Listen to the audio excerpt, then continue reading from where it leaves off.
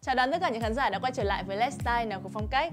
Các bạn thân mến, trong thời trang thì phụ kiện đóng tầm quan trọng không kém gì những set trang phục. Và để nói tới phụ kiện thì không thể không nói tới chất liệu da, một trong những chất liệu bền đẹp và sang trọng nhất. Ngay bây giờ chúng ta sẽ cùng đến với bộ sưu tập mà về đồ da phụ kiện.